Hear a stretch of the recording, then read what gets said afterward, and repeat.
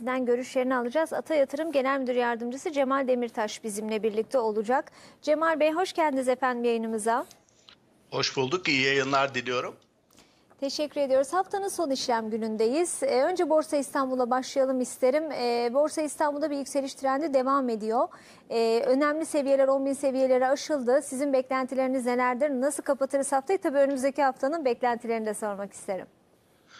Tabii öncelikle aslında e, uzun bir süredir e, borsa yerinde sayıyordu reel anlamda düşündüğümüzde. Filmi biraz daha geriye sararsak 2023 yılının Mart e, Nisan aylarında işte genel seçimler dönemlerinde endeks 4500'lerdeydi. Sonra seçimlerden sonra net bir sonuç çıktı. Ardından biz neyi gördük? Ciddi bir rally'yi gördük. Ve bu rally ile birlikte e, Eylül'e kadar, Ekim'e kadar devam etti. 8500 endekse kadar. O dönemde faiz artırımları başladı. İşte ekonomi yönetimine güven arttı. Genel olarak yapılan uygulamalara güven arttı. Oraları gördük. Yüksek seviyeleri. 8500'den sonra yıl sonuna kadar biraz sindirme dönemi, acaba politikaların etkileri ne olacak dönemi yaşadık.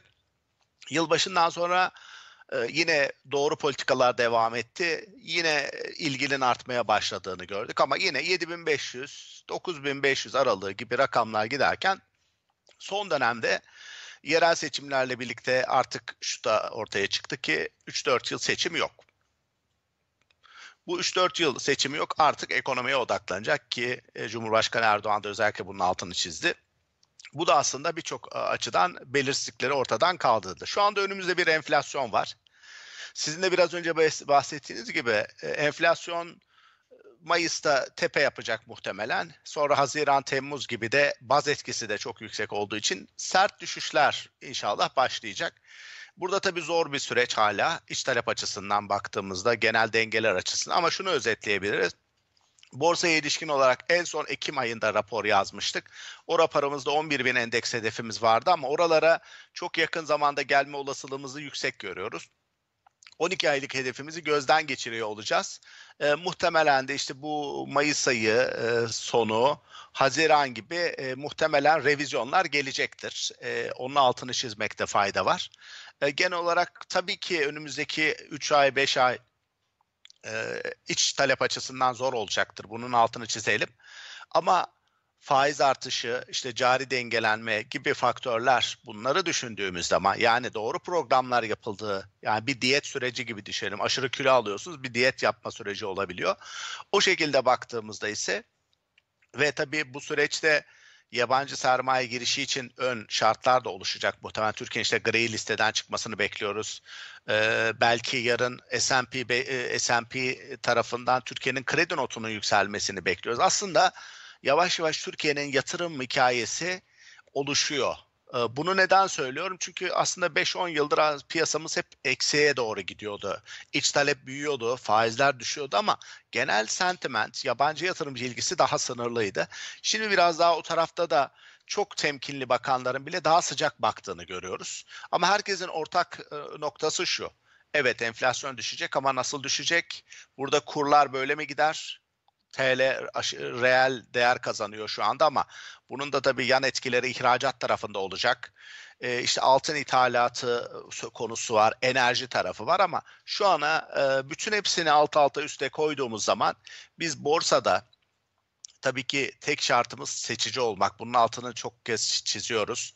Borsada birçok şirket e, pahalı görünebilir ya da bilmediğiniz şirketler olabilir. Onlardan uzak durulmasını ama öte yandan da çok e, ortak olunabilecek iyi şirketler olduğunu hatta ucuz olan şirketler olduğunu söyleriz. Bunlarda da daha e, iyiye doğru gidiş ya da bunlarda alım yapmanın e, piyasa çarpanları şu anda yükseliyor gibi olsa bile daha da yukarıya çıkma imkanı taşıyacak kaliteye ulaşacağını düşünüyoruz. O nedenle seçici olunmasını özellikle bireysel yatırımcıların da kesinlikle bir hisse almadan önce bir tahmin yapmadan önce kesinlikle profesyonel görüşler alması taraftarıyız. Bunu neden söylüyorum? neden yükseldiğini ya da düştüğünü zaman zaman kestiremeyebiliriz. Yanlış tahminler de yapabiliriz ama her zaman bir böyle bir düşünce mekanizmamız olması lazım. E, bunu zaten e, genişleyen bir yatırımcı profilimiz var. E, o görüyor. Bireysel emeklilik sistemi işliyor. Orada ciddi portföy yönetim şirketleri var yerli yatırımcı tarafında. Yabancı tarafı zaten dünyadan tecrübeli. E, o nedenle biz burada e, gerçekten de e, ki sektörde 30 yıldır e, bulunan bir analist olarak e, sanki daha güzel günler e, önümüzde, e, kötü günler geride kalmış gibi bir hissiyatımız var. E, şirketler de çok badireler atlattılar. Ama şu geçişi nasıl halledeceğiz? Enflasyonu düşüreceğiz. Evet ama e, işte asgari ücret artışları oldu, onların etkisi oldu, maliyet enflasyonu oluştu. Bunları bu yıl içerisinde halledip önümüzdeki yıl burada biraz daha istikrara gideceğimiz görüşü oluşması, bakın gerçekleşmesinden bahsetmiyorum. 2024 Temmuz'unda biz kendimizi çok daha farklı bir noktada görebiliriz ülke olarak. E, ve bu da tabii ki genel anlamda ülkedeki istihdamla işte yabancı yatırımcı ile birlikte desteklenmek şartıyla biz ileriye heyecanla bakıyoruz. E, bunu net olarak söyleyeyim. Ama dalgalara da hep e, hazır olmakta fayda var. Görüyorsunuz. Yani duruyor duruyor bir anda hareket edebiliyor piyasa. Bu neden bir anda hareket etmesini yakalamamızda yatırımcılara söylemek istediğim e, mümkün değil her zaman. O nedenle yeter ki iyi bir yere dükkan açmak gibi düşünün herhangi bir şirkete yatırım yaparak e, ve tabii ki şirketlere güvenmek gerek. Güvendiğiniz şirketlere yatırım yapmalısınız. E, biraz daha böyle artık yatırımcı kültürünün, hisse senedi piyasası kültürünün e, ben oluştuğunu düşünüyorum. E, önümüzdeki günlerde de bunu göreceğiz. Halka arzlarda da tabii ki dikkatli olunmalı. Yine orada da bilerek alınmalı. E, ucuz pahalı mı diye bir fikir oluş masında fayda var. E, ama bir de tabii ki eski dönemlerde her halka arz kazandıracak algısı da oluşuyordu. Bu da yani işin matematiğine e, ters. Bazı halka arzlar kazandıracaktır, bazıları kaybettirebilir. Bunun da bilinci olarak e, olarak yapılırsa yatırımlar e, bence önümüzdeki dönemde daha sağlıklı günler bizi bekliyor şeklinde bir e, yorum yapabilirim. E, tabii özellikle e, yatırımcıyı konuşmuşken, Borsa İstanbul'u konuşmuşken sektörel performansı da konuşalım Cemal Bey. Çünkü yatırımcının en çok baktığı konular aslında sektörel performans. Hangi sektöre biraz daha belki bankacılığı konuşuyoruz, holdinglere birçok aslında sektörü konuşuyoruz. Bazıları biraz daha ön plana çıkıyor. Nasıl değerlendirirsiniz sektörel performansını Borsa İstanbul'un? Tabii dediğiniz gibi sektörel bence birkaç şeye bakmak lazım. Bir, e, yatırımcıyla ne kadar ilişkili şirketler yani ilişkili derken e, ilgili kendilerini e, gerçekten yatırımcılığa tanıtmak istiyor mu? Bence bir faktör bu. Sektör şirket spesifik faktörler var ve de dediğiniz gibi sektörel faktöreller var. Biz şunu söyle düşünüyoruz. Hala enflasyon bitmiş değil. Enflasyonist ortamda ve ekonominin biraz daha yavaşlayacağı dönemde en az vazgeçilecek sektörlerde olmak gerek. Çünkü onlar da hala ucuz. Eğer bir buçuk yıl perspektifle bakıyorsanız birçok sektörde büyüme işte döngüsel dediğimiz işte demir çelik, cam gibi sektörler, petrokimya bunlarda da olunabilir bir buçuk yıl perspektif. Ama bir yıl 6 aylık bakış açısıyla biz yine şöyle diyoruz. Biz buralarda ya bankada çok şey olmuyoruz ama sağlıklı portföylerde belki bir banka bulunabilir ama bizim en beğendiğimiz hisseler listesinde yok mesela banka. Ona rağmen tabii banka dışılık banka çok iyi gitti son dönemlerde. Son yılbaşından hatta Ekim ayından beri geçen yılın. E, ona rağmen biz bankacılık dışında kalarak da endeksin üzerinde getiri e, sağlayabildik model portföy olarak. O yüzden hisse spesifik önemli. Ha banka bir iki banka işte bir özel banka olabilir. E, Türkiye'nin riski çok azaldığında kamu bankaları bile gündeme gelecek. Orada bir risk algısı var. O olabilir ama biz ağırlığımızı bankacı dış dışılığında yine kullanma taraftarıyız. Perakendeyi hep öne çıkarıyoruz. İşte BİM, Migros, Şok, Şok özellikle e, bizi her ne kadar hisse performansı şu ana kadar mutlu etmemiş olsa da temel olarak bu sektördeki konsolidasyonu görüyoruz, verimliliği görüyoruz ve e, yine gıda en son vazgeçilecek sektör. Yani daralmalar döneminde. O yüzden bu üç şirketi özellikle söylüyoruz. Holdinglerde işte Sabancı Holding illa banka riski alacaksınız. Sabancı Holding üzerinden alabilirsiniz yaklaşımı içerisindeyiz. Bankacılık dışı, işleri de var. Ee, telekom sektörü bizim için e, dayanıklı olanlardan. Orada Turkcell'i tercih ediyoruz. Ama telekom sektörde yine en son vazgeçilecekler. Gıda sektöründe ve içecek sektöründe Coca-Cola ve Ülker bunlar hem yurt içi hem dışları var. Bunlar 8 ay bakabilmek lazım ya da şişe cam gibi şirkette. Çünkü hala bizim ihracat tarafımız ya da yurt dışı tarafımızda Avrupa tarafında zayıflık devam ediyor. Yani buranın ilk sinyalleri henüz gelmiş değil. O nedenle orada biraz daha çekimsel dursak da emtia tarafında Tüpraş e, ve Ay, Ay gazı aslında e, beğeniyoruz. Tüpraş her koşulda e, sağlıklı bir şirket ve yatırımlarını bitirmiş durumda bunu söyleyeyim. Aksa Enerji hem Türkiye hem Afrika operasyonları var. Enerji tarafında tercih ettiğimiz şirket ama o da açıkçası e, yani üzerinde ölü toprağı var gibi olan hisselerden oldu son 6 ayda. Ama biz ona rağmen e, temelini beğendiğim şirketi bir, bir kez daha altını çiziyoruz. E, böyle söylemeye devam ediyoruz. Havacılık tarafında e, TAV havalimanlarını e, tercih ediyoruz. Onlar da büyük yatırımları bitirdiler. Hem e, turizm katkısı hem de yurt dışındaki operasyonlarını göz önüne alıyoruz. E, son olarak da TOFAŞ'ı e, söylüyoruz. TOFAŞ'ta da e, şunu görüyoruz. Otomotiv evet iç talep yavaşlayacak. Yavaş yavaş sinyallerini gördük ama oradaki Stellantis e, global bir isim. Onun bir parçası artık Tofaş. Onun Türkiye operasyonlarını içine almasını bekliyoruz. Orada rekabet kurulunun kararı çıkabilir diye düşünüyoruz. Yani orada böyle yapısal bir nokta içerisinde baktığımızda belirsizlik ortada kalkacağı için bir iyileşme bekliyoruz. E bunların yanında zaman zaman sağlık sektörü, işte Medikal Park bunlar listemizde değil ama tema olarak hoşumuza giden şeyler, sağlık ve ilaç tarafı, ee, burada işte Lokman Ekim Small Cap dedim küçük hisselerde dikkatimizi çek, çekenler e, işte Selçuk Ecza, Eczacı ilaç gibi. Bunlar da böyle ilaç tarafında yine daha büyük sayıda portföylerde bulunabilecek bir e, durum sektör. E, şunu son olarak ifade edeyim. Genel şeyimiz şu Temmuz'a kadar Ağustos'a kadar e, yine temkinli olurken işte daha az vazgeçilebilecek sektörlerde olmak ağırlıkta ama bu süreç içerisinde iyiye doğru gittiğini hissettiğimiz işte global faiz kararları oldukça da biraz daha hafif hafif o taraflara önümüzdeki 6 ayda geçişler, e, doğru hareketler olabilir. E, kurun seviyesiyle ilgili zaman zaman yorumlar gelir. Ama şunu görüyoruz biz kurun tahmin etmek çok mümkün değil ama biz yıl sonu 40 tahminimiz vardı. Haziran sonu da 34.90'larda ama şu ana kadar TL'nin olduğundan da güçlü gittiğini görüyoruz. Bu iyi bir şey çünkü e, hazine rezerv biriktirebilir ya da işte yani ülke e, rezerv biriktirebilir. Buna imkan tanır. Bu açıdan iyi. O yüzden biz ekstra bir e, daha aşağılara inmesinin kısa doğru kalacağını düşünüyoruz. Doların, e, dolar TL'nin düşme durumunu düşündüğümüzde. Çünkü orada da iç dengelere, e, maliyet dengelerini gözetmek gerekecek. Yani aslında yine Türk TL'de kalmayı tercih edeceğiz.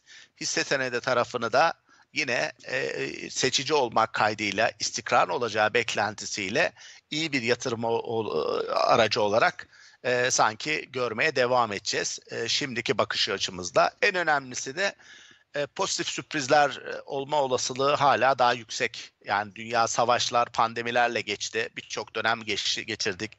Ciddi kur sıkıntıları oldu. Şu anda o yüzden belki adapte olamıyoruz. Her an tabii ki iç talepteki sıkışma bizi yoracak. Unutmayalım onu. Çünkü ciddi bir öne çekilmiş talep oluştu görüyorsunuz geçen yıl rekor otomobiller satıldı. İşte herkes cep telefonunu falan belki yeniledi.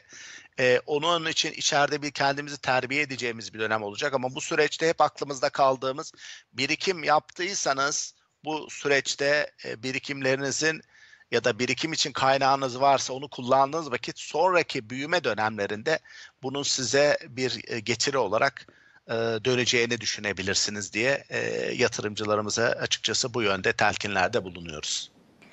E, küresel cepheyi de konuşalım. Powell'dan açıklamalar vardı çarşamba günü. E, FED faizi sabit bıraktı piyasaların beklentisi doğrultusunda ama faiz indirimlerini öteledi hatta sayısını azalttı.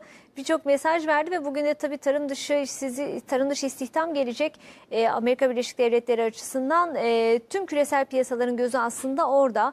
E, Avrupa tarafı belki biraz daha erken faiz indirimine gidebilir görüşleri söz konusu ve e, Çin tarafı biraz daha e, sıkılaşmaya giderken bir yandan da gayrimenkul sektöründeki sıkıntıları çözmeye çalışıyor. E, nasıl değerlendirirsiniz küresel piyasaları? Tabii e, şunu Powell'ın satır aralarında söylediğini önemli şey enflasyon istediği kadar düşmüyor. Bunun da aslında birçok sebebi var. Çünkü bölgesel olarak e, ticaretin zorlaştığı bir dönemdeyiz. İşte ne oluyor? Süveyş kanalında sıkıntı oluyor. Başka uzaktan gitmesi gerekiyor. Navlun fiyatları yükseliyor. Bunun gibi böyle aslında savaşlar var. Böyle dönemlerde de bir e, arz talep dengesinde özellikle arzın kısılmasıyla birlikte bir enflasyonist ortam oluşuyor. Bu henüz birçok sektörde geçmiş değil ama birçok şirket sektörde de işte demir çelikte görürüz e, yani düşük seviyelere geldi artık. Çin çünkü topa girmeye başladı üretimiyle. Çin'in tavrı önemli olacak. Üretirken tüketmeye de başlarsa bu iyi bir sinyal olacak ama global likidite koşulları açısından özellikle Avrupa'da yavaşlığın olduğunu düşündüğümüzde ilk etapta oradan bir faiz indirimi söz konusu olur. Ee, sizin de söylediğiniz gibi Eylül-Ekim aylarına belki daha sonrasına ertelenmiş bir Amerika faiz e, kararı olacak ama şunu görüyor olacağız. Her halükarda Çin'in belirleyici olacağını Burada da bizim en son endikasyonlar aldığımız endikasyonlar hala Ekim'e kadar Eylül-Ekim'e kadar orada çok büyük bir parlak bir durum yok. Sadece Avrupa'da biraz kıpraşma var. Yani hafiften bir iç talep tarafında e, ilk indikasyonlarda biraz iyileşme var. Bu da e, şöyle söyleyeyim biz bu disiplinli dönemi geçirirsek Temmuz Ağustos'a kadar bu bizi koruyacaktır. Ondan sonra bir de eğer global faiz e, indirimleri girerse e, o zaman ballı börek yani bizde biraz daha o şeyden e, sargılardan daha kolay kullanıcı. Yani diyet rejimi yaptığımız bir dönem olarak düşünürsek o yabancı yatırımcının da düşük faiz ortamında daha rahat gireceğini düşünürsek güvenle birlikte. Burada en önemli şey güven. E, o noktada önümüz açılacak. E, ama şimdilik de, sizin de söylediğiniz gibi çok acil bir Amerika e, faiz e, indirimi gibi bir şey söz konusu değil. E, sadece biraz daha tartarak gidecekler. Burada önümüzdeki dönemde jeopolitik konular önemli tabii ki her zaman. İsrail, e, Hamas, e, burada bir ateşkes bölgeyi biraz rahatlatabilir. Yukarıda da tabii Rus-Ukrayna durumu. Ya bunların tamamen ortadan kalkmasını beklemeyebiliriz ama orada da büyük oranda streslerin yaşandığını göz önüne alırsak e, oralarda da yılın ikinci yarısı biraz daha e, ferahlayacağımız bir e, dönemin işaretini veriyor global bakışla. Bugün tarım dışı istihdamı da görürüz. Her ay önemli. Tabii 240 bin e, beklentisi var.